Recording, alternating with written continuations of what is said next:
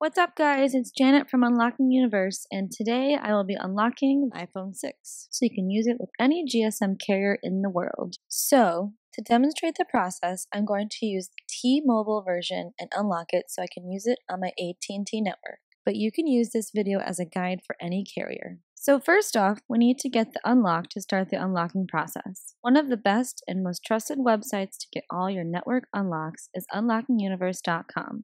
Head on over to unlockinguniverse.com and select your phone manufacturer and the phone model from the drop down list. And on the next page, go ahead and select the country where the phone was originally purchased from and the carrier of the phone. In my case, I purchased it in the United States and the original carrier is T Mobile. So, before we continue, we do need the IMEI number of the phone. And the way you look that up on your phone is to open up the dial pad and enter in star pound zero six pound. Once the phone displays the IMEI number, you have to go back on the website and enter that in. Once everything is filled out, select Order Now, and that will take you to the final screen where you have to check out. Once you finish checking out, we'll remotely unlock your iPhone, but you will need to finish the unlocking process on your end, and here's what you need to do. Before we continue, we need to put the SIM card that you want to use with your iPhone. So pop open the SIM tray that should be located on the side and put in the SIM card that you would like to use with the iPhone. If your SIM card doesn't fit, then you have to adjust the size in order for it to work. There's a link down below to show you how that's done. Once the SIM card is inside the phone,